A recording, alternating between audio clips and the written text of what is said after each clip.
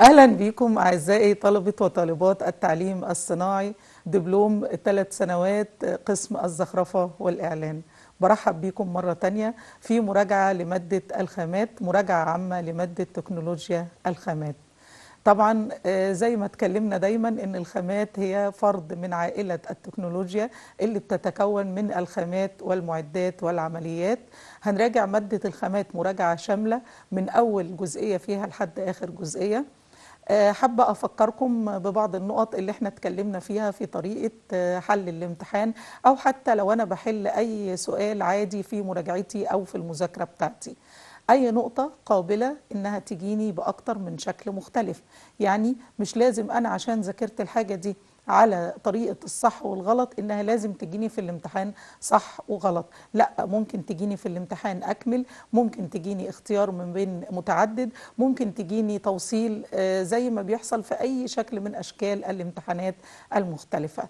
يعني نخلي بالنا من المعلومة نحط في دماغنا المعلومة كفهم مش كحفظ عشان نقدر نصوغها على حسب اللي موجود في السؤال بتاعنا. هنراجع الخامات. طبعا إحنا عارفين إن أغلب أسئلة الامتحان بتبقى أسئلة موضوعية اللي هي أسئلة الصح والغلط أو الاختيار من متعدد أو أكمل أو علل. وجزء قليل من الامتحان بيكون أسئلة المقال اللي هي بتسألني بشكل مباشر في موضوع ما. عايزة بس ألفت نظركم إن أسئلة الموضوعية زي ما أنتم بتحبوها عشان هي سهلة لكن هي في نفس الوقت محتاجة تركيز شديد في حلها.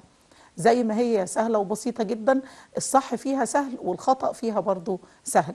هناخد بالنا من بعض الملحوظات وإحنا بنحل كل نوعية من نوعيات الأسئلة. أهم حاجة عندي ما تتسرعش أبدا في إنك تقول مش عارف أجاوب.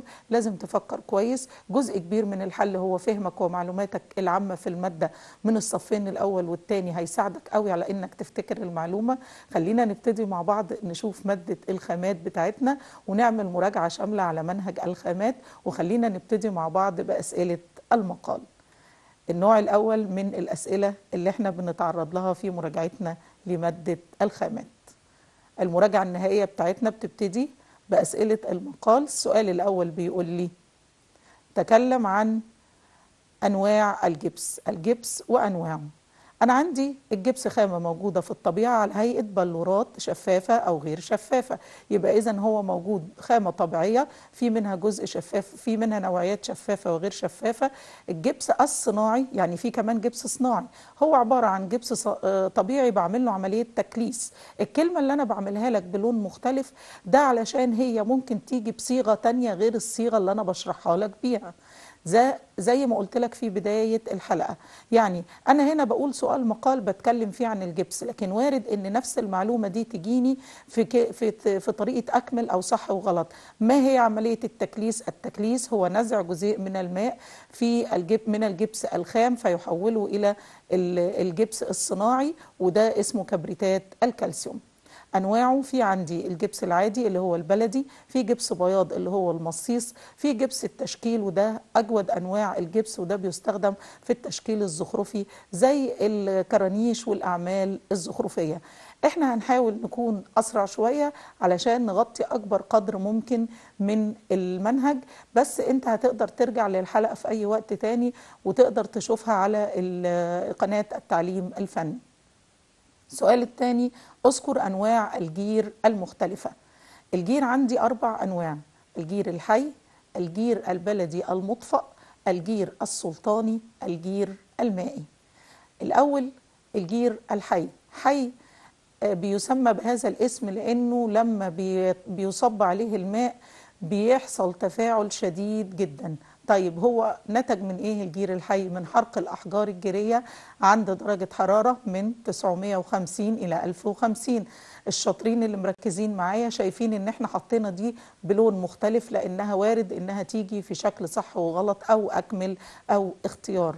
يبقى بيحرق الجير الأحجار في درجة من 950 إلى 1050 يصبح قابل للتفكك بالماء ولكن لازم ناخد حذرنا لأن بيحتاج إلى حرص شديد في عملية اطفائه اسمه جير حي دسم وجير حي غير دسم. الجير البلدي المطفأ لسه بنقول هو الجير الحي بعد إضافة الماء إليه. يبقى الجير الحي بعد ما بضيف له المية بقى اسمه جير إيه؟ مطفأ. يبقى هو هو ولكن أضفت له المية وزي ما إحنا لسه قايلين يكون بحرص لأن بينتج عنه حرارة عالية ممكن حتى تسبب انفجار. الجير السلطاني هو جير حي ولكن سلطاني ده من اسمه يدل على إنه إيه؟ مميز. إيه التميز اللي في الجير السلطاني؟ إنه بيتم حرقه بمعزل عن مواد الحريق أو مواد الوقود. طيب ده معناه إيه؟ معناه إنه بيبقى خالي من الشوائب وده بيبقى جير نقي. عشان كده بيسموه الجير السلطاني. عندي الجير المائي من اسمه كده يبقى له علاقة بالمية إيه علاقته بالمية علاقة جميلة جدا إن هو نوع مميز من أنواع الجير بيجف أو بيشك تحت الماء. طيب يبقى إيه اللي بيميز الجير المائي؟ إنه بيجف أو بيشك تحت الماء. طب إيه اللي أكسبه الخاصية دي؟ علل. ليه الجير المائي بيجف تحت الماء؟ إشمعنى نوع الجير ده؟ لأنه بيحتوي على نسبة كبيرة من مادتين اسمهم السيليكا والألومين أو الالومينا وديت اللي بتكفي لانتاج سيليكات الألومنيوم وسيليكات الكالسيوم عشان كده له خاصية الجفاف تحت الماء. طيب هل آه، ال- ال- الجير ده بيحرق برضو؟ آه هو بيحرق في درجة حرارة تقل عن درجة تزجج مادته يعني درجة حرارة منخفضة شوية. وبرضه بيطفأ بالماء أو ببخار الماء وبيطحن عشان يبقى مسحوق. الجير المائي اللي بيجف تحت الماء له ثلاثة أنواع. النوع الأول هو البطيء أو الضعيف وده بيجف من 9 ل 15 يوم النوع المتوسط من 6 إلى 9 أيام والنوع القوي أو اللي بي- بيجف سريعا بيجف من يومين إلى 6 أيام وده أكثرها صلابة وأ- وأفضلها وأكثرها جودة. السؤال اللي بعد كده اذكر مكونات تمبرا اللبن. تمبرا اللبن هي طبعا نوع من أنواع الألوان اللي بيتم تطبيقها على الجدران. أو ممكن على الأسطح المختلفة تمبرا اللبن بتتكون من 470 جرام من اللبن المنزوع القشطه اللي هو الكازين 150 جرام من الجير المطفأ 100 جرام من زيت أبو النوم أو زيت الجوز 300 جرام أبيض أسباني أو كربونات الكالسيوم. بقلب كل دول بحصل على مستحلب. هيلفت نظرنا هنا كلمة مستحلب والمستحلب هو مزيج غير متجانس. يعني حاجتين بيتقلبوا مع بعض لكن ما بيتحولوش لحاجة واحدة. المستحلب مزيج ولكنه غير متجانس. طيب لو أنا دلوقتي جالي سؤال في تمبر لبن في الامتحان وافتكرت المكونات لكن نسيت النسب. أجاوب ولا ما أجاوبش؟ أجاوب طبعا. أنت النهارده لما بتجاوب في الامتحان كل جزئية بتجاوب عليها بتاخد درجة. عايزه عينك في الامتحان تروح على اللي انت عارفه مش على اللي انت مش عارفه. يبقى أول ما هبتدي في الامتحان أدور على أسهل حاجة بالنسبة لي وأحلها أكتب رقم السؤال وأتوجه على طول لورقة الإجابة وبعد كده إن شاء الله كله هيجي مع لما المخ يبتدي يشتغل الإجابات كلها إن شاء الله هتتدفق وأنت بتحل. يبقى بعد كده بتنتقل للسؤال التالي. السؤال التالي بيقول لي اذكر ما تعرفه عن رطنجات الالقايد الخالية من الزيوت من حيث الخواص والاستخدام. رطنجات القايد خالية من الزيوت خواصها واستخدامها. أول خواصها عيوب. عيبها إيه بقى؟ رداءة الانسيابية. الرداءة في الانسيابية ده معناها إنها بتتكتل إلى حد ما. بخففها بالأسيتون أو التنر. ليه حطينا الأسيتون والتنر بلون مختلف؟ لأنه آه، ممكن يجيني في هيئة آه، أكمل. يبقى بتخفف بالأسيتون والتنر بيمتاز عن ورنيش السلولوز والجمالات كأنه لا يحتاج إلى الخدمة.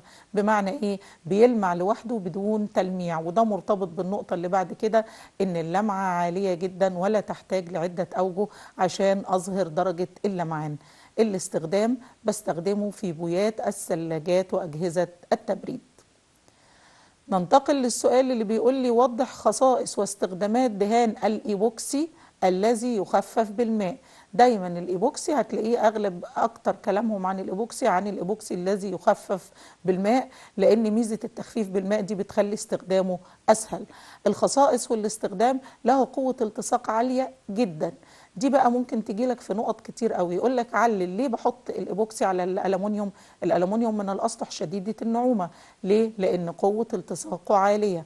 بيقاوم الكيماويات بيقاوم الاحتكاك والتآكل بيستخدم مع الميلامين اللي هو راتنج الميلامين طبعا في بويات الأفران. شفاف مرن ذو صلادة عالية. وقلنا الصلادة هي مقاومة الخدش. يمتاز بقدرته على الالتصاق بالأسبستوس لأن عنده قدرة التصاق قلنا إيه؟ عالية برافو عليكم. يعدل بالقار ليقاوم القار اللي هو البيتومين هو مشتق من مشتقات البترول عازل للمياه. لما بخلطه معاه بيديني مقاومة أعلى لتسرب المياه. يبقى بيخلط بإيه؟ لمنع تسرب المياه؟ بالقار. يخلط بالرمل والكوارتز. بالرمل والكوارتز. للحصول على سمك عالي للدهان. يديني سمك عالي مع الخواص والمميزات الحلوة جدا اللي إحنا اتكلمنا فيها دي. فيديني هنا بوية أو طبقة دهان سميكة تستخدم في دهان أرضيات مصانع الكيماويات. يبقى فيها صفات كويسة وفي نفس الوقت بيديها الرمل والكوارتز السمك العالي. بستخدمه في صناعة البرايمرات يعني البويات الأساسية اللازمة لحماية المنشآت المعدنية. بوية التأسيس والبوادئ يعني الأوجه الأولى والبطانات أو الأساسيات اللي بيبنى عليها طبقات الدهان الخارجية في دهانات السيارات والثلاجات بعد كده بيسألني بيقول لي ما هي مجالات استخدام الرش الساخن؟ والرش الساخن لو أنتم مش فاكرين أو مش متذكرين آه، ال- الرش الساخن هو عبارة عن دهان بتزيد فيه نسبة المواد الصلبة وبيتم آه، تعريضه أو تسخينه بدرجة حرارة درجة حرارة متوسطة فبعد كده بيبتدي الدهان يسيل بنسبة مخففات قليلة. ده كده الدهان الايه الساخن. إيه مميزاته؟ مميزاته انه بيستخدم أو مجالات استخدامه بيستخدم في دهان المشغولات اللي بيحتاج دهانها طبقة واقية صلبة ما بتتأثرش بالعوامل الجوية. زي إيه؟ زي أدوات المستشفيات زي لعب الأطفال زي وسائل المواصلات وكمان ممكن يستخدم في دهان بعض أجزاء السفن. طب هل ينفع في جميع أجزاء السفينة؟ لا إحنا طبعا زي ما إحنا درسنا في مادة العمليات الجزء الغاطس من السفينة له نوعيات معينة من الدهان الأرضيات لها نوعيات معينة من الدهان. يبقى هو بيستخدم في دهان أجزاء معينة من السفن باستثناء الغاطس. بعد كده ننتقل للسؤال اللي بعد كده. إحنا دلوقتي آه لما بنتكلم كمان في نقطة عايزة أضيفها أنت ممكن يجي لك في الرش الساخن يسألك على المكونات بتاعة بوية الرش الساخن. وبرضو هنا في حاجة مهمة بقى محتاجة أقولها لك. الخامات زي ما هي كل خامة ليها مواصفاتها المميزة المستقلة أنا كمان عندي في عوامل مشتركة ما بين الخامات المختلفة. زي إيه مثلا؟ زي النقطة اللي إحنا بنتكلم فيها نقطة مكونات البوية. إذا جه قال لي مكونات بوية السنساتيك أو مكونات بوية السليلوز أو مكونات بوية الزيت أو أي نوع من مكونات البوية في نقاط أساسية مشتركة. زي إيه؟ أغلب البويات فيها مواد رابطة فيها قواعد وملونات فيها مذيبات فيها مواد مساعدة. فأنا لو قلت الكلام دوت في مكونات أي نوع من أنواع البويات هتكون الإجابة بتاعتي إجابة صحيحة. هي صحيح ما هياش إجابة نموذجية لأن أنا لازم أكون عارف المكونات التفصيلية. بمعنى إيه؟ بمعنى إن مذيب دهان البوية دي مش زي البوية دي. كل بوية ولها نوع مذيب مختلف ليها ملوناتها ليها قواعدها ليها المادة الرابطة بتاعتها. ولكن العوامل الأساسية دي موجودة في جميع أنواع البويات.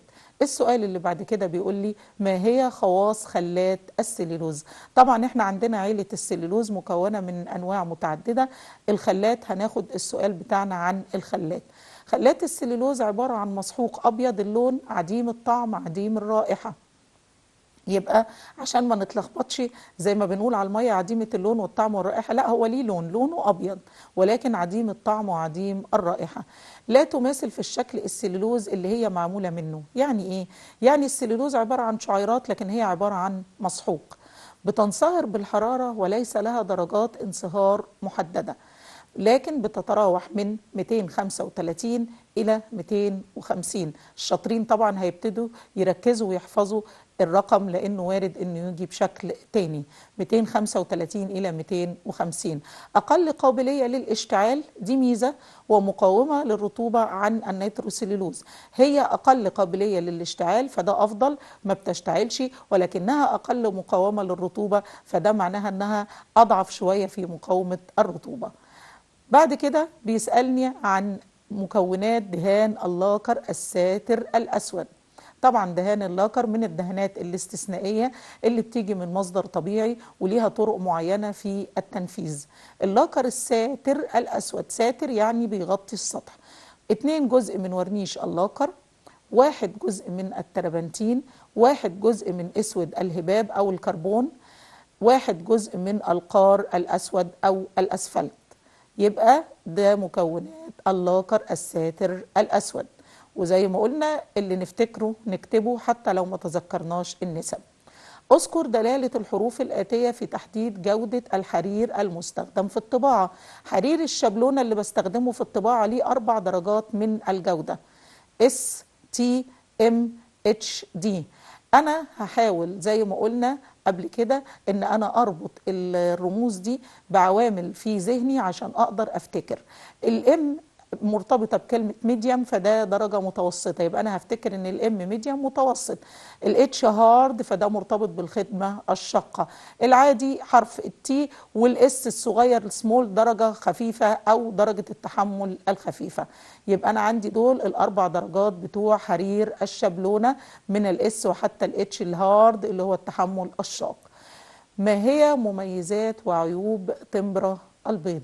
تمبرة البيض هي بتستخدم في التلوين واستخدمها قدماء المصريين. مميزاتها لا يصفر اللون ولا يغمق بمرور الوقت ولكن الألوان كل ما بتجف وكل ما بتقدم بتزداد جمالا وغالبا بتطبق على أرضية من الجبس. بتعطي ألوان ثابتة ما بتتأثرش بالمية خاصة عند تقادمها. وبعد كده هنقول إيه اللي بيضاف عليها يخليها ما بتتأثرش. طيب هي فيها عيوب؟ آه فيها عيوب.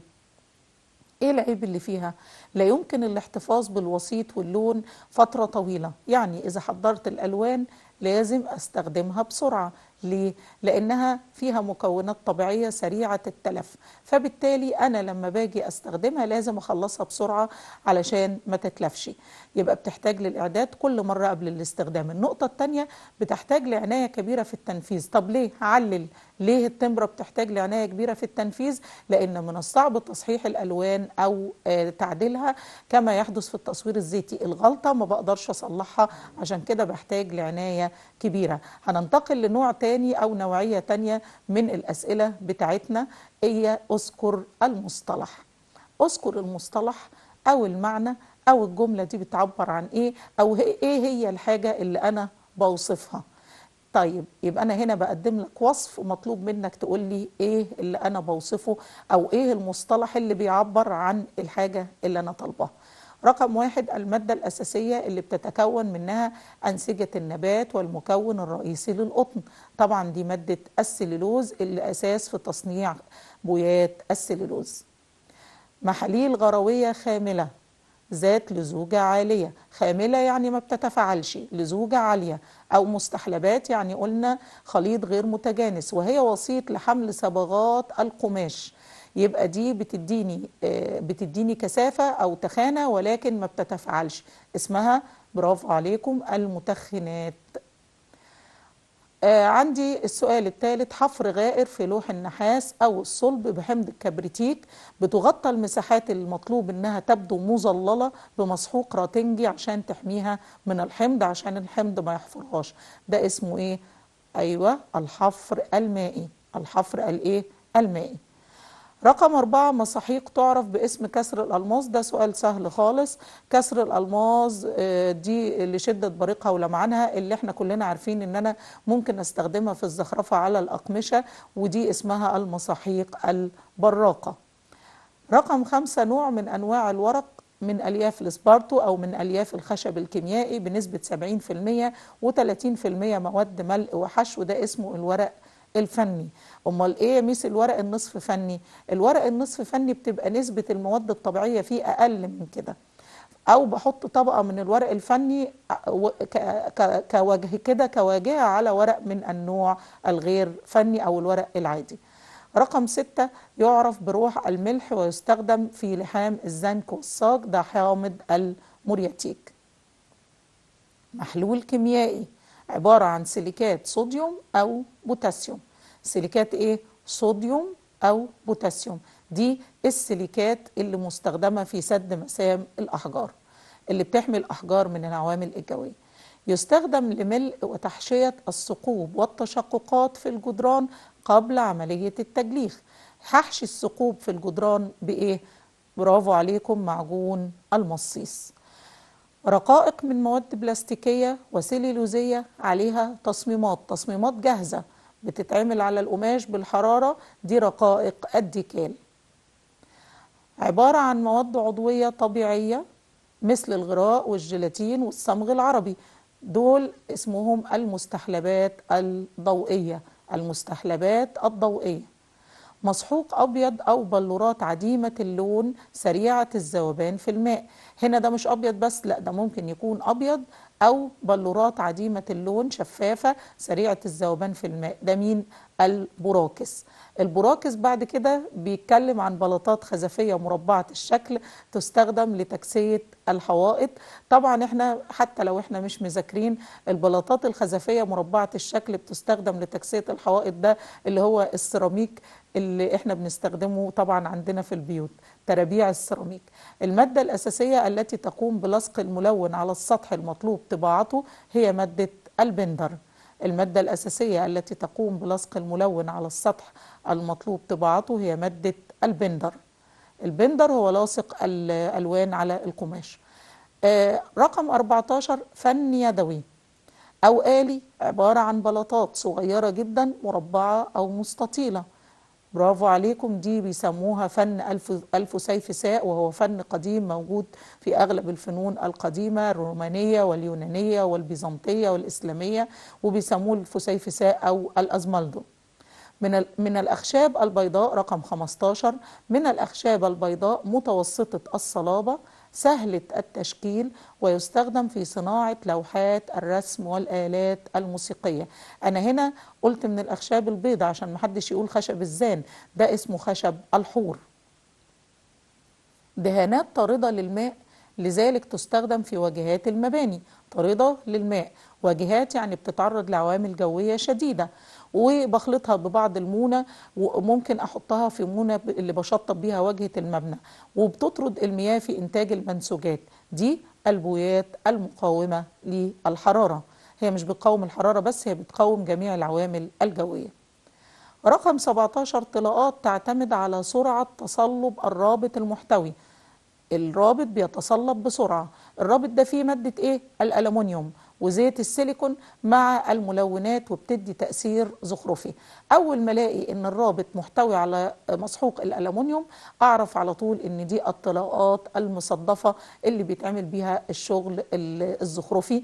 طبعا كلكم بتشوفوا الشغل بتاع خان الخليلي اللي بيتعمل فيه تقليد العمل بتاع الصدف الأصلي الشغل المصدف ده. فأنا أول ما هشوف إن أنا عندي مادة رابطة فيها مسحوق ألمنيوم عندي سرعة جفاف عندي تأثير زخرفي يبقى أنا على طول أول حاجة هتيجي في دماغي الطلاقات المصدفة.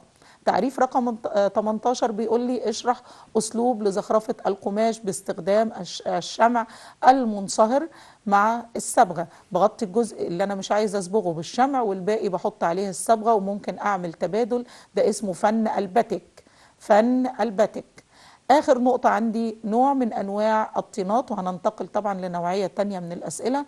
نوع من أنواع الطينات تحتوي على نسبة عالية من السيليكا والألومين وهي خام ناتج من تحلل حجر الجرانيت. طينة ناتجة من تحلل حجر الجرانيت فيها سيليكا وألومين. أيوة برافو عليكم الكاولين. بعد كده هننتقل لأسئلة إيه؟ أسئلة علل أو أذكر السبب. سؤال علل أكتر سؤال أنا بعتبره بيعتمد على فهم الطالب. يمكن أكتر من الحفظ رغم أن إحنا قلنا مادة الخامات صحيح بتعتمد على الحفظ ولكن حفظ بلا فهم هيتنسي بسرعة. علل بقى أكتر سؤال بيقيس فهم الطالب للمادة. حتى أنت لو أنت قريت الجملة اقراها كويس جدا يمكن تقدر من خلال الجملة تستنتج هو إيه الإجابة المناسبة. وخاصة إذا كنت ذاكرت وفهمت يعني أنا النهاردة لما أنا أعرف أن مادة الجير الحية بتطفأ بالماء وينتج عنها حرارة دي معلومة لو أنا حفظتها ممكن أنساها لكن أنا لو فهمتها مش هنساها. يبقى نروح للنقطة الأولى من نقط علل واللي بتقول في حالة تسوية السطح في في الرش بالفيلر بيستخدم الالقايد متوسط الزيت. ليه؟ مين يقول لي ليه؟ لأن بيديني سطح مستوي ويكون خالي من التجعد وخالي من التعريجات وبيساعد على سرعة عملية التسوية في الفرن.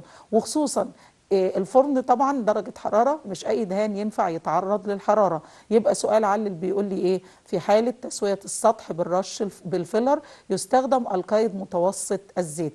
يبقى لو جه قال لي ليه متوسط الزيت هقول له لأنه بيديني صلابة وبيديني سطح خالي من التجعد النقطة التانية بتقول لي تضاف نقطة من الخل عند تحضير تمبرة صفار البيض أو تمبرة البيض. هنا بقى آه، الخل حتى في حياتنا العادية في حياتنا العامة إحنا بنستخدمه ليه؟ بنستخدمه كمادة حافظة. هو ده نفس الغرض. أنا ليه بحط الخل على تمبرة ال- البيض أو على التمبرة ألوان التمبرة بشكل عام لمنع تعفنها؟ يبقى ليه الخل ليه قطرات الخل لمنع التعفن. عند أعداد مكونات الرش الساخن للدهانات السلولوزية بتستبعد المذيبات زي الأسيتون وخلات الإيميل. مش بس الأسيتون وخلات الإيميل أي مذيب سريع التطاير ما ينفعش معايا في الرش الساخن. يعني أنا لما أجي أعد مكونات آه، بوية الرش آه، الساخن يعني البوية هتتسخن.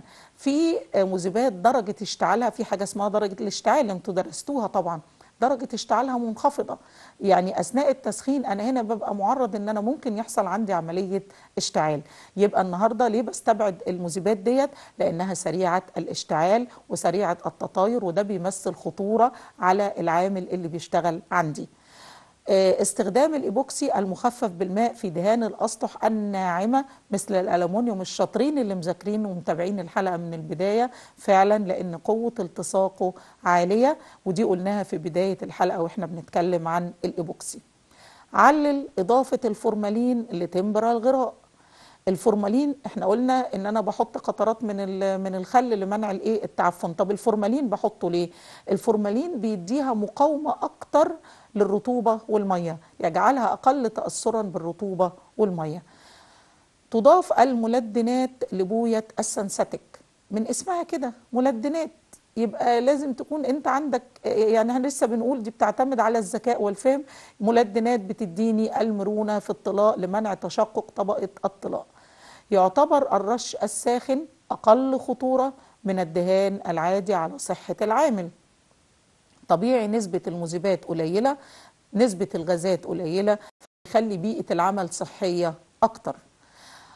رقم 8 علل تضاف مساعدات الانتشار للدهانات السيليكونية. مساعدات الانتشار هي موانع الترسيب هي الحاجة اللي بتخلي مكونات البوية تفضل عالقة ولا تترسب في القاع. ليه؟ لأن مكونات بوية السيليكون صعبة التشتت ما بتنتشرش بسهولة وبتميل إنها تترسب في القاع وده يخلي البوية تبقى غير جيدة يبقى مساعدات الانتشار بتمنع الترسيب تستخدم الدهانات المقاومة للحرارة لسه قايلين في دهان واجهات المباني وإيه كمان؟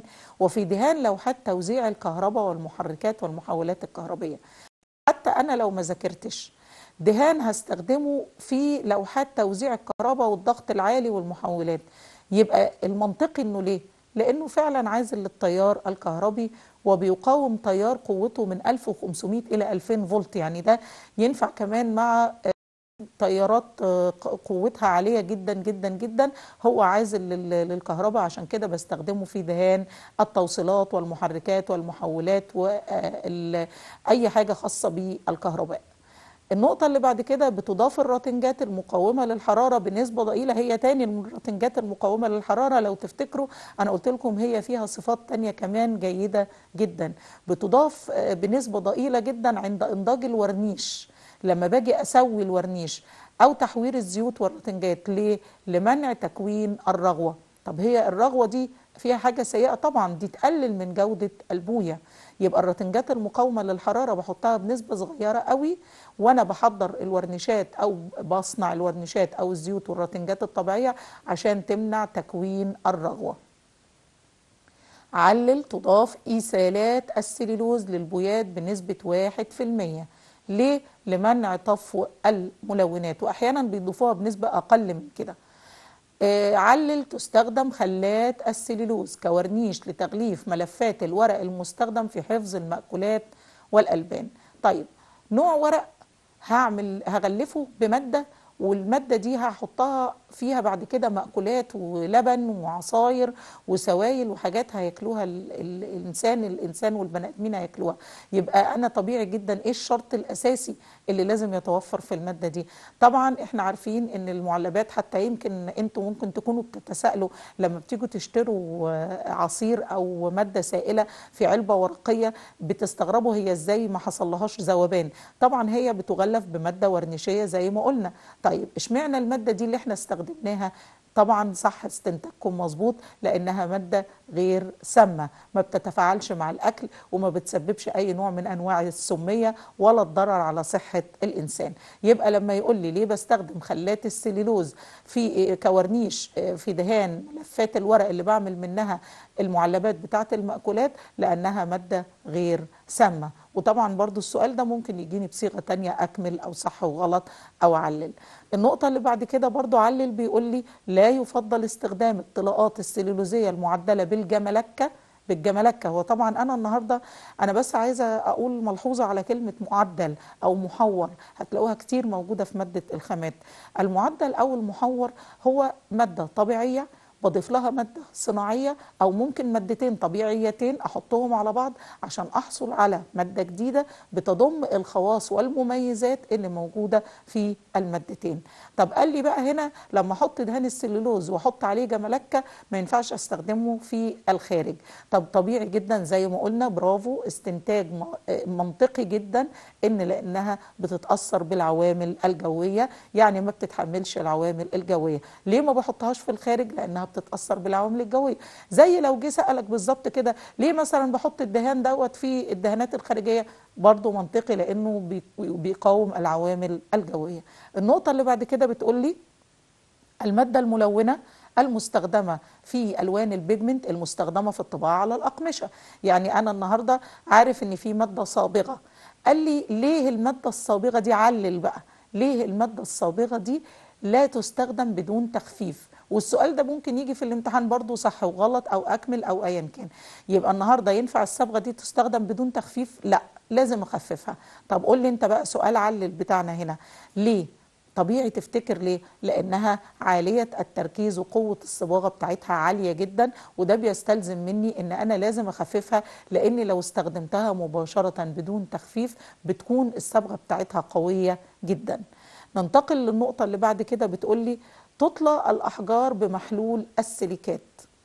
محلول السيليكات بدهن بيه الأحجار ممكن بعد عملية الرسم أو التلوين ليه؟ لسد مسام الحجر بيسد مسام الحجر عشان الحجر ما يتأكلش وعشان الألوان اللي عليه ما تروحش علل يضاف لتمبر الصمغ قطرات من الجليسرين طبعا إحنا في معلوماتنا العامة عارفين إن الجليسرين بيدي نعومة ومرونة وهو ده برضو اللي بيعمله في تمبر الصمغ. بيخلي الألوان ناعمة ومرنة وبيخليها غير قابلة للتكسر.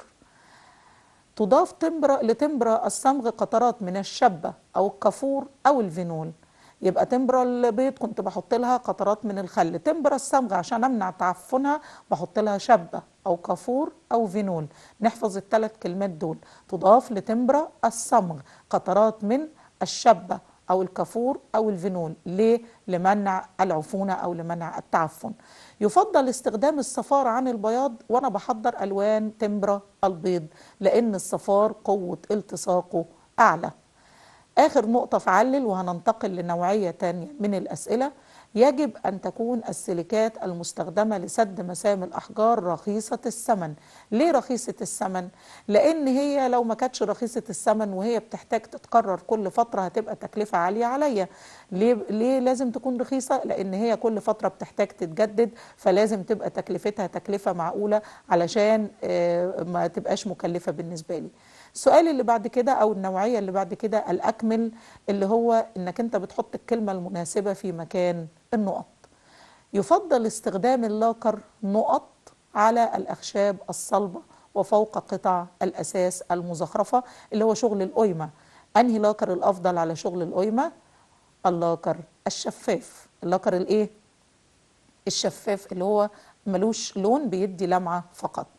يستخدم حمض نقط في تجفيف الغازات. تجفيفها يعني بيمتص المية. طبعا اللي مذاكر عارف إن أكتر حمض بيمتص الماء وبخار الماء هو حمض الكبريتيك. حمض الكبريتيك بيقوم بتجفيف الغ- الغازات يعني بيمتص منها بخار الماء. الجير الحي ناتج من حرق الأحجار الجيرية. طبعا اللي متابعين هم سابقني بيقولوا عند درجة حرارة من 950 إلى 1050 دول اللي متابعين الحلقة من بدايتها بتركيز. كلما زاد الوزن الجزيئي لرطنجات الإيبوكسي زادت ولا قلت درجة اللزوجة. خلينا نشوف الإجابة كده. أيوة هي العلاقة بينهم علاقة طردية. كل ما بيزيد الوزن الجزيئي بيزيد معايا درجة اللزوجة اللزوجة اللي هي القوام بتاع الدهان. تستخدم المخضبات غير الحقيقية. هنا بس عايزين نقول نقطة. إيه الفرق بين المخضب الحقيقي وغير الحقيقي؟ إحنا قلناها قبل كده بس هفكركم بيها. المخضب الحقيقي هو ليه لون. هفترض إن لونه أبيض. إذا أضيف للبوية بيغير لونها وبيخليها تتأثر باللون الأبيض. طيب لما نيجي بقى للمخضب الغير حقيقي زي الاسبيداج مثلا لونه أبيض. إذا وضع في المذيب تحول إلى اللون الشفاف بنسبة كبيرة. يبقى هو مخضب ولكن غير حقيقي بيدي قوام ولا يعطي لون. طيب تستخدم المخضبات غير الحقيقية زي أبيض نقط؟ في البطانات ذات الجفاف نقط فقط. يبقى المخضبات غير الحقيقية زي أبيض إيه؟ أبيض البريته أبيض البريته في البطانات ذات الجفاف نقط فقط. يبقى أبيض البريته اللي هو مخضب غير حقيقي في البويات ذات أو البطانات ذات الجفاف الحراري فقط. يخلط الرمل نقط. للحصول على سمك عالي لدهان أرضيات مصانع نقط. اللي فاكر هيفتكر إحنا قلنا يخلط الرمل ومين؟ بالكوارتز. كوارتز عشان يديني سمك عالي لدهان أرضيات مصانع الكيماويات.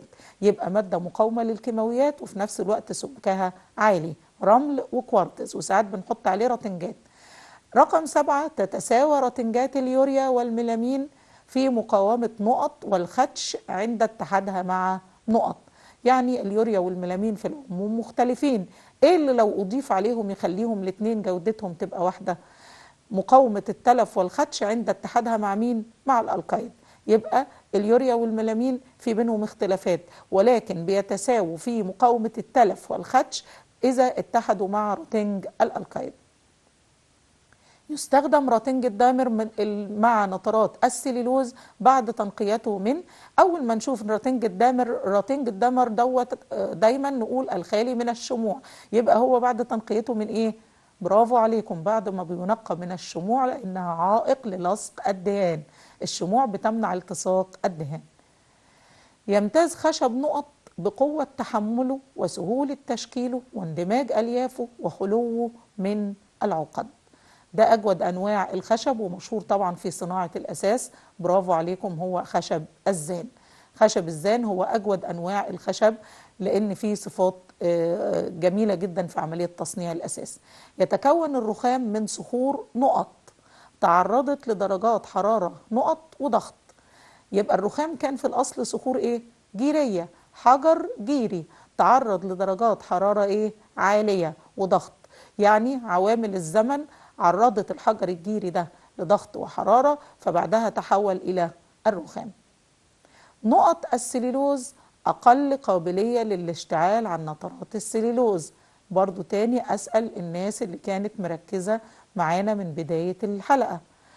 أيوة كان إيه من مركبات السلولوز برافو عليكم خلات السلولوز أقل قابلية للاشتعال. عن النيتروسيلولوز ال binder شديد نقط والمطاطية. طالما الكلمة اللي بعدها المطاطية أنا بس عندي هنا ملحوظة مهمه سؤال الأكمل ما تحاولش إن أنت تحل النقط بتعجل يعني ما تستعجلش. غالبا النقطة بتبقى مرتبطة بسياق الجملة. يعني عشان تجيب الكلمة اللي ناقصة اقرأ الجملة كاملة من أولها لآخرها. هتقدر بمنتهى البساطة تستنتج أو تقدر تفهم أو توصل للمعنى ومن خلال المعنى هتقدر تختار الكلمة المظبوطة. البندر شديد نقط والمطاطية. إيه الكلمة اللي مرتبطة بالمطاطية؟ مطاط. وقوة نقط عالية. أيوة برافو عليكم. شديد المرونة. مطاطية يبقى مرتبط بيها المرونة وقوة إيه عليها؟ قوة التصاقه. الناس اللي فاكرة إن البندر هو المادة اللاصقة للألوان الخاصة بالطباعة على الأقمشة البيجمنت. حرير الشبلونة يجب أن يقاوم نقط ولا يتأثر بنقط. ده طبعا في الطباعة السلك سكرين. حرير بتاع الشبلونة يجب أن يقاوم إيه؟ هو النهاردة أنا بطبع إزاي؟ أنا بطبع بالراكل مسطرة المطاط اللي هي بت- بتفضل كل طبعة بشد الحريرة علشان أطبع الرسمة. فلازم يكون الحرير يعمل إيه؟ بيقاوم الاحتكاك أو بيقاوم عملية الشد اللي هو بيتأثر بيها دي بتاع احتكاك المسطرة بتاعة الطباعة بسطح الحرير ولا يتأثر بالإيه؟ بالرطوبة لأن أنا الشبلونه دي بعمل بيها إنتاج كمي. تمتاز الطلاقات المصنعة من راتنجات نقط بانخفاض سعرها عن الميلامين. بص هنا الميلامين واليوريا عاملين بالظبط كده زي الاتنين الإخوات. فهتلاقي دايما اسمهم مرتبط ببعض. إذا قال لك مين أقل من الميلامين مين أكتر من اليوريا مين كذا مين كذا غالبا مقارنات دايما مستمرة بين اليوريا والميلامين. يبقى أول ما ما يقول لي تمتاز الطلاقات المصنعة من نقط بانخفاض سعرها عن الميلامين يبقى على طول هنبص للمنافس بتاعه اللي هو اليوريا. المتخنات إحنا لسه كنا بنتكلم عنها عبارة عن محاليل نقط. خاملة ذات نقط عالية. أيوه محاليل غروية خاملة ذات لزوجة عالية عشان اسمها متخنات. لزوجة عالية عشان تدي للبوية تخانة. اللاكر الخام يتغير لونه عند تعرضه للهواء. يعني إذا هنا مش ده اللون اللي اللي خام اللي جاي من استخراجه من الشجرة. بيتغير عند تعرضه للهواء فيتحول إلى نقط مصفر ثم إلى نقط طبعا اللي مذاكر واللي فاكر عارف إن اللاكر الخام اللي نازل من الشجرة لونه رمادي طيب لما أحطه في الشمس يتحول لإيه؟ أيوه بني مصفر ثم إلى الأسود. يبقى أول تعرضه للشمس الرمادي يتحول إلى بني مصف- مصفر ثم إلى أسود. نقط الذي يخفف بالماء لسه فاكرين؟ أيوه اللي قالوا على طول الإيبوكسي الذي يخفف بالماء يقاوم الكيماويات وإيه؟ والاحتكاك والتآكل. أو ال- الذي يخفف بالماء في الغالب يكون الإيبوكسي يقاوم الكيماويات والاحتكاك والتآكل. السيليكات لسه كنا جايبين في سيرتها يجب نقط الأحجار بسهولة لأنها إذا لم تتخلل هنا بقى بقول لك مهم جدا تقرأ الجملة لأنها إذ لم تتخلل الأحجار تتخلل يعني تدخل جواها فإنها تكون نقط سهلة الانفصال. لو فكرت في الجملة دي هتلاقي إجابتها سهلة قوي يجب أن تتشربها الأحجار يعني تدخل جوه المسام مش تبقى على المسام من بره. طب لو هي على المسام من بره هتكون إيه؟ برافو عليكم قشرة. القشرة دي سهل إنها تنفصل. يبقى السيليكات لازم تدخل جوه المسام عشان ما تبقاش مجرد قشرة القشرة دي تبقى سهلة الإيه؟ الانفصال. السيليكات برضو يجب أن يكون معامل نقط ونقط مساويا للحجر. أول ما أشوف كلمة معامل في السيليكات أفتكر التمدد والانكماش. معامل التمدد والانكماش. يعني إيه السيليكات معامل تمددها وانكماشها مساوي للحجر؟ يعني مرنة بتتجاوب مع الحجر. إذا انكمش تنكمش معاه وإذا تمدد تتمدد معاه. طلاقات الثلاجات تتميز بنقط اللون والاحتفاظ به يبقى هي فيها سمة معينة أو شكل معين للون وبتحتفظ بيه. كما يجب أن تكون مقاومة تماما للصابون ونقط. وراتنجات الأكريليك أو الأكريليك نقط أفضل نتائج أحسن حاجة لدهان الثلاجات الأكريليك أو الأكريليك نقط. آه زمان الثلاجات كلها كان لونها أبيض. طلاقات الثلاجات تتميز ببياض اللون هو يقصد هنا إنها إذا نوع الثلاجات اللي بيدهن بالدهان الثلاجات الأبيض بيفضل أبيض ولا يتأثر بالعوامل الجوية. طلاق الثلاجات يتميز بإيه؟ بياض اللون. كما يجب أن تكون مقاومة للصابون والإيه؟ والشحوم.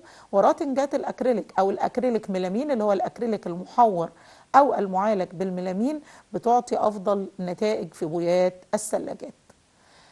تتعدد أساليب تطبيق بويات السنساتيك ذات الجفاف الحراري.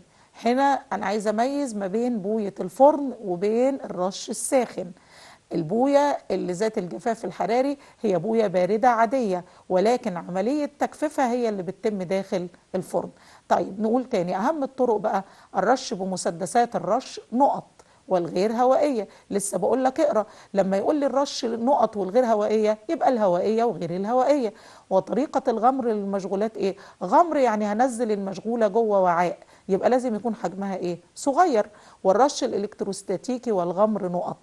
نشوف الإجابة كده مسدسات الرش الإيه؟ الهوائية والغير هوائية والغمر للمشغولات الإيه؟ الصغيرة والرش الإلكتروستاتيكي وبرضه في غمر إلكتروستاتيكي وإحنا عارفين إن الرش أو الدهان الإلكتروستاتيكي هو اللي بيعتمد على الشحنات الكهربية في جذب الدهان لسطح المشغولة من أشهر مساعدات الانتشار اللي هي موانع الترسيب للدهانات السيليكونية هي أصبان نقط بينما يفضل استخدام الألقايد نقط الزيت كملدن ملدن يدي مرونة لدهانات السيليكونية. دهانات السيليكونية من أجود أنواع الدهانات. عشان أحسن من خواصها بحط لها موانع ترسيب.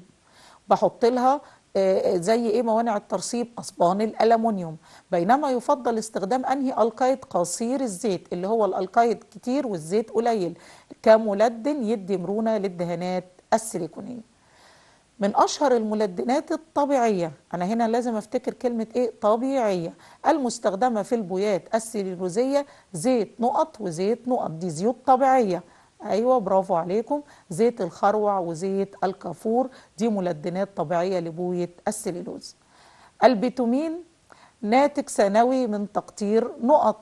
تحسن خواصه بالنفخ بالهواء مع نقط ويسمى الناتج البيتومين نقط. البيتومين ناتج ثانوي من تقطير البترول. تحسن خواصه بالنفخ بالهواء مع التسخين ويسمى الناتج البيتومين المنفوخ. تضاف البوليمرات من حيث مصادرها تصنف تصنف البوليمرات من حيث مصادرها إلى ثلاثة أصناف رئيسية. البوليمرات نقط البوليمرات نقط البوليمرات الطبيعية. تصنف البوليمرات من حيث مصادرها إلى بوليمرات طبيعية دي جاية من مصادر طبيعية. بوليمرات محضرة صناعيا بوليمرات طبيعية محورة. بكده نكون انتهينا ودي آخر نقطة عندنا في أسئلة الأكمل. حاولنا بقدر الإمكان طبعا إن إحنا نغطي أكبر قدر ممكن من مادة الخامات. طبعا إن شاء الله أتمنى إن أنتوا تستفيدوا من المراجعة وما نتسرعش في الإجابة ونجاوب بهدوء وما نتركش أي سؤال بدون إجابة. إن شاء الله نجاوب صح. ولو شكينا في الإجابة بتاعتنا ممكن نعمل حل آخر. آه عايزة إن شاء الله بإذن الله إن إحنا الأسئلة دي نراجع عليها أكتر من مرة. وزي ما اتفقنا ناخد المعلومة بأكتر من شكل. يعني أنا أقدر أحول لنفسي. أنت ممكن ب... أنت في البيت تقدر تحول سؤال الصح والغلط لسؤال أكمل أو لسؤال علل أو لسؤال اختيار أو لسؤال توصيل المهم إن المعلومة تكون موجودة عندك. بكده إن شاء الله نكون خلصنا مراجعتنا لمادة الخامات وإن شاء الله هنلتقي بعد كده في مراجعات تانية. وخليكم فاكرين دايما إحنا دايما بنقول إيه؟ اجتهادنا وطموحنا هو سر نجاحنا. دمتم متفوقين ودمتم من الأوائل وأترككم دايما إن شاء الله في رعاية الله. شكرا.